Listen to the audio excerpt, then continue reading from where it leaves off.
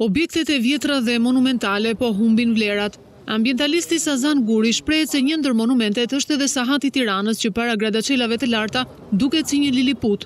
Urdhëroni dhe shikoni vetë dhe flisni se ku ndodhet suat sahati si një liliput, pa më që është sahati më i vjetër në Evropë, më përpara se Big Ben i Londës, cili është gjoja si i njohur, dhe shikoni në ça marrëdhënie, të nënshtruara, të poshtruara, është vepra monumentale që i përket veprës së qytetarit, i përket popullit, i përket kombit si vepër.